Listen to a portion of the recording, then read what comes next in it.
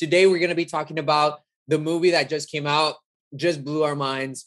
It was risky. It was all over the place, but I think overall, like, shows the capacity of what Marvel can do uh, with Doctor Strange. I know we haven't talked about this openly, Yeah, but what did you? This, this is is the first actually our first time talking about this. Yeah. But what did you think of the Doctor Strange movie? Do you Yeah. think it's a classic? Like, were they playing it safe, or or what do you think? Yeah, that's a good question. And just a heads up for the audience, we're gonna be talking spoilers in this video. So if you haven't seen Doctor Strange in the Multiverse of Madness, we recommend you watch it. Did it do things that were risky?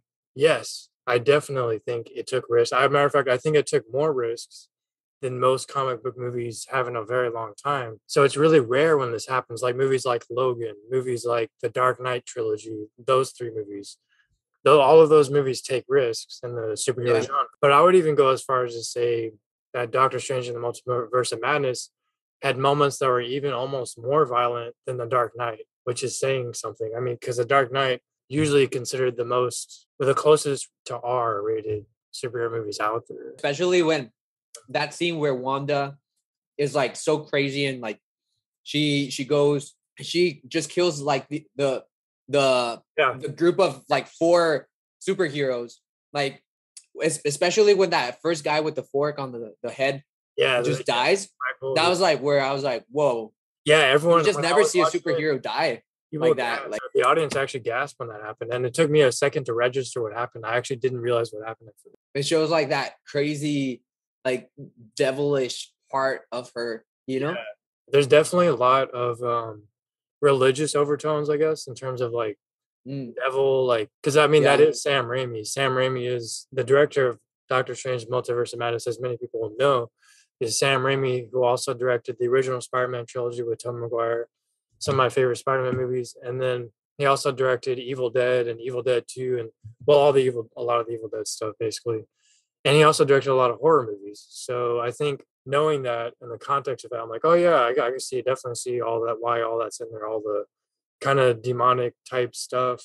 And some other people come at it like, oh, now Marvel's pushing devil stuff. And I'm like, that's that's a minority of people. I haven't heard too many people say that, but but I'm like, no, it's just it's a horror director. So like what do you expect? You know, that's kind of, you know, and that horror director stuff really came out with Yes. like Doctor Strange, you know, doing doing like spells, but then he goes into witchcraft and like is doing, you know, whenever he whenever he brings back that um Doctor Strange from the other universe that was dead, and then uses the demons that were attacking him i- into like for for for his good or like for for himself. What is going on? Like yeah, it's like what? at that point I was like, what it what what just happened? Like what what was this guy like on to to Yeah, create yeah. this like Yeah, like stuff? something to go on a trip. Yeah, he he Yeah, I know. It's just it lost a little bit of the the sense of like who Doctor Strange is, right? Especially how it starts off like you're like,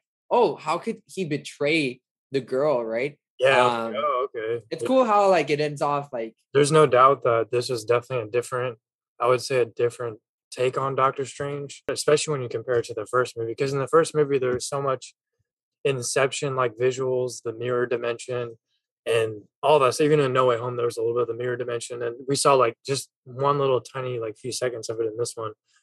And i think it's just the director like the director's vision and i think it's just a true. different take and a lot of people want to compare it to the first movie and say the first movie is better and all this. I feel like i enjoyed and was more entertained by doctor strange in the multiverse of madness than the first one. And i just watched the first one a few weeks ago to like you know refresh myself.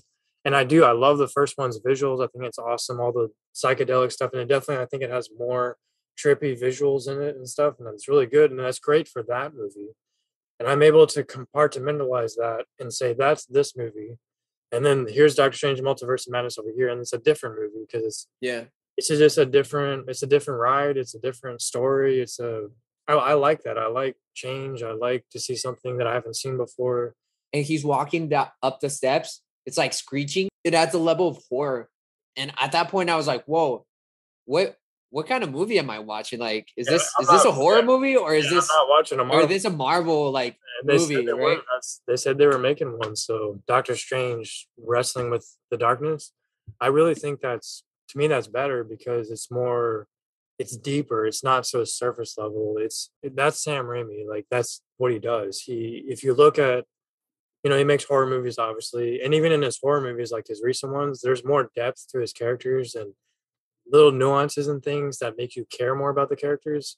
And I notice he really tries to do that. He tries to flesh that out compared to other directors. And then the element, the story about the sister dying that he couldn't save in the frozen lake, like that was so cool to add that. And then you go back to the original Spider-Man trilogy. So like you see him doing that there too with Spider-Man. Spider-Man wrestled with darkness in the first movie when he tried when he accidentally killed Uncle Ben's killer. He wrestled with darkness in Spider-Man 3, of course, with the symbiote suit and Venom and yeah, it's, al- yeah, it's almost like yeah. he was em- embracing you know his dark side in order to to like conquer the the bad i was thinking about this with wanda mm. you know she almost looked like some sort of like exorcist like like yeah. something from the movie of exorcist like where she comes out yeah, like true. like popping back oh, into yeah. place and stuff that reminded me of the uh pennywise the clown from the it that's that's what it reminded me of because it's like i was like what is going on you know like at that point i was like this is this is this is another level.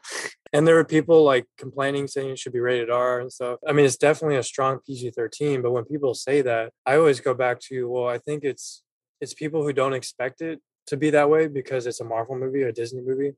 And so yeah. their expectations lead them to be thrown so off guard that they think, oh, this should be rated R.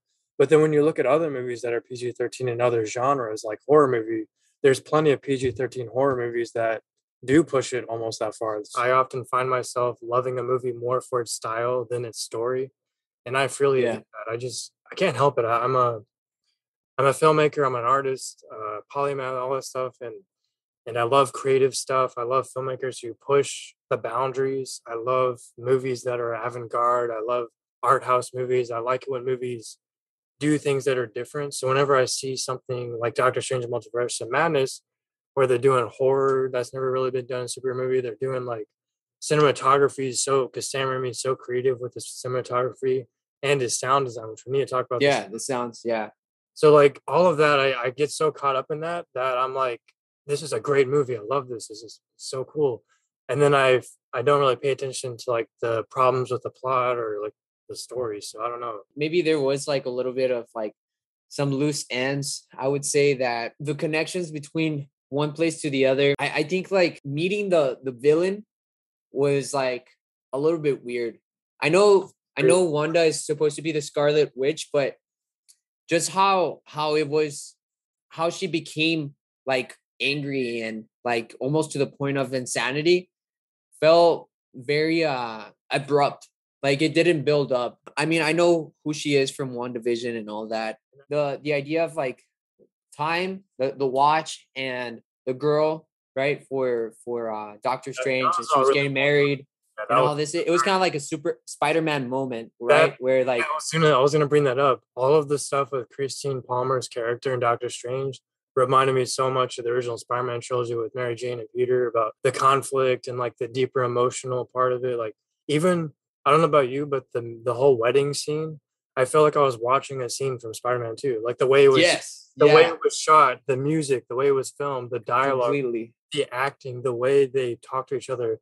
I was like, this feels like people having a real conversation. I'm like, that's what I've been wanting. I've been yeah. wanting superhero movies to feel genuine, like Spider-Man 2.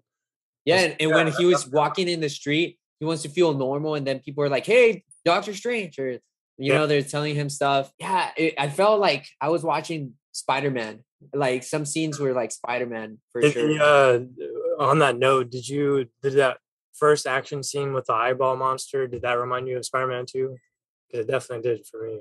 Yeah, I, I mean, now that I think about it, maybe it was like you know, because it's yeah, yeah. Doctor Octopus. Remember when Doctor Octopus was climbing that building and Aunt May was like caught up there and all this? That's what reminded me of that whole scene. Mm, because mm. America Chavez got stuck on the ledge of the building, and then all another thing was happening over here, and then that it just screams Spider-Man 2 to me.